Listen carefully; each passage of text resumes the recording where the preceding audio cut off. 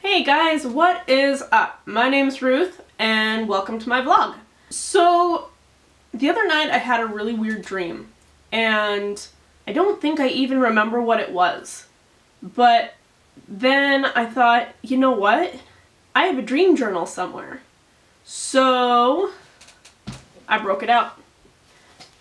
Yeah, so I thought I'd read you a few of my dreams. Now, disclaimer, I'm not a lucid dreamer. I can't control my dreams. I wish I could, but my dreams can kind of get a little bit weird and crazy. So, this should be interesting. Okay, well, let's start out with a nightmare, I guess. Um, so this one was last year in August. So it says, let's see, it's 3.45. That was in the morning. I woke up at 3.45. I just had a terrible dream. It started out fine with Toby and I having drinks with friends. Then we were going to get food. On the way, Toby wanted to stop by this video game store. Well, apparently I broke something and they had to send my mind to some Matrix repair shop where I talked to some guy. He said I had a file that, I don't know, was corrupt or needed to be downloaded. When we finally got it, it was a voicemail from Alora. Alora's my youngest sister. And a paper that said, in loving memory of Alora. This is when I kind of started to freak out. Um, on the voicemail, she was crying and upset, clearly depressed. I didn't want to believe it. I sat there and cried. I tried screaming, but I couldn't. I hate those dreams. When you try screaming or running, and you just can't. So I tried screaming, but I couldn't. When I finally walked in the church, my mom and the other kids were laughing. Not sure why. That's when I woke up. Oh, there was also a hand-carved music box that played the Harry Potter theme song with Alora's picture in it. And that was the end of the dream. And this isn't the first dream I've had where my sister got hurt or died. Uh, I very vividly remember it was years ago, and in my dream we were playing with some friends that we had kind of grown up with, or that I had grown up with. And I don't remember exactly what happened, but I remember she had broken her neck, and I went to carry her down the hill uh, from where our friends lived, and I remember like reaching around and touching her neck and feeling it broken and it freaked me out. I woke up bawling, absolutely bawling. So when I had a second dream about her dying and like not just dying but like in the dream she had committed suicide and I, I this was when we were working together. I was there and she walked in to clock on and like before she did anything, I hugged her and was like, if you ever need anything, you better call me. Okay. Next, uh, August 28th. It all happened on South Hill. I wasn't really doing anything, but I noticed an outdoor pool and some kids were in it. I ended up helping this one kid train, but for what I don't know. At the end, AJ, that's my oldest brother, dragged him underwater and I don't know if he made it.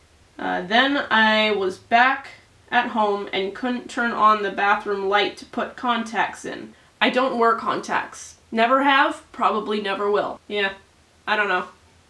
Beats me. Next! I was visiting my grandparents at my mom's house. They weren't doing good. They said Papa had a few weeks. I kind of remember this one. I think I woke up crying. I tried writing Andrea to tell her I was going to need time off soon, but I couldn't. I kept getting interrupted, and I forget what kept interrupting me. Um, finally, I was trying to write on this poster, and this guy kept trying to take it. He chased me for it. He ended up taking my whole family captive and trying to get me to marry him.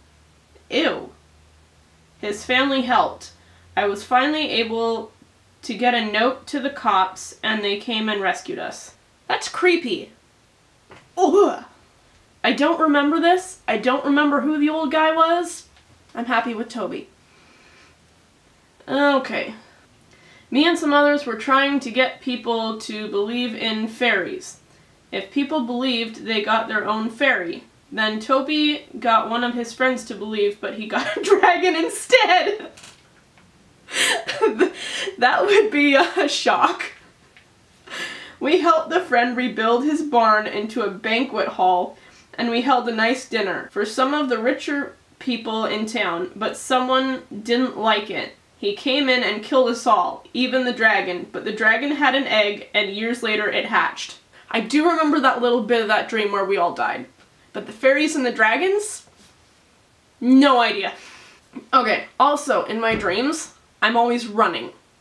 To something, from something, just because. One night I ran a whole marathon just because. But, yeah.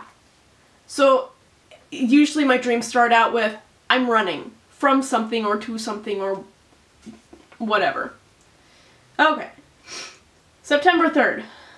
I remember running around some sort of battlefield. There was a tank or something at one end, and we used it to kill some creature. Then Ryan ditched us. Ryan's one of our volunteers at youth group. Thanks for ditching us, Ryan. Next thing I remember is I was... What? Apparently Tom Hiddleston has amazing hair and amazing eyes. I don't remember this. Then I was talking to the ladies of Criminal Minds. Spencer walked past looking like a clown and left a metal bracket behind. Then we were driving in a car and that's all I remember. Must have watched a lot of TV that night. September 4th. I dreamt I was in a thrift store and I was helping Macaroni's owner find her harness. Macaroni is a dog that I groom at work. Uh, it took forever. Then I was running, I think. Something about someone getting married. It was weird. I remember robots or servants and they turned evil, I think. I think a lot of things, apparently. The last part was I went to work on the Rampage, but it was at the Wellers, some old friends, which was actually mom's house. Instead, I ended up making chicken. I go to work on my car at some friend's house. That's actually my mom's house, but I end up making chicken? September 5th. I only remember the last bit after Toby left for work. I was in mom's house, but I was with Sam and Dean and their dad. Uh, someone else was in the office, and I forced my way in to see who. It was this freaky lady who ended up being friends with the dad. I don't remember Sam and Dean's dad's name. Uh, so we all sat down to dinner, and the lady and her friend is trying to sell us all of this weird food, which ended up being tainted or something. Then one of Sam and Dean's friends gets his spirit taken, and Dean goes hunting for it. I find the guy's spirit waiting to use the bathroom. So I go and tell Dean. That's when I woke up. I watch way too much TV. March 31st. Oh, this was the one I just had a few days ago. Okay, so prefix. I had been watching Gun YouTube channel, The Pop Off. So, you, you need to know that. March 31st. I had a dream that I was helping in a doggy daycare and I took Buddy, a customer, over from my place of work. Uh, Gun Gomz was also helping there, which was weird. So somehow it turned into this huge contest where they had to eat a bunch of stuff and then pull a rope or cord hanging from the ceiling. Then that person and their teammate had to run to a specific location or something. Gun Gomz and I were on a team, and he slayed the eating portion and we ran to our location and I don't know if we won or not. Then Toby showed up and we all hung out. So yeah, my dreams are weird. Some of them don't make sense and I need to start writing more down. So if you want to see another video of me telling you my dreams, uh, leave comment down below and I will be sure to write down my dreams for the next couple weeks.